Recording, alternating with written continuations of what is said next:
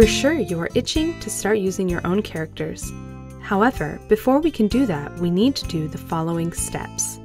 Import your own custom graphics using Resource Manager, create your characters in the database, and create expressions for your characters in the database.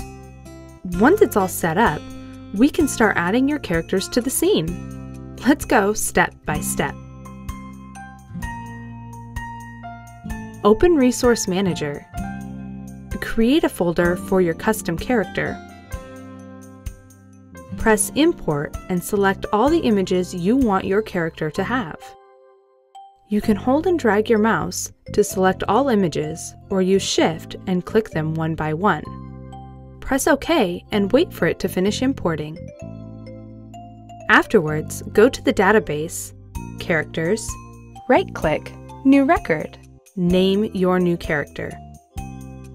Go to Database, Character Expressions, make a new folder for your character. In our case, it's Metis. Add new record, name of the expression, press Add on the Idle Expression tab.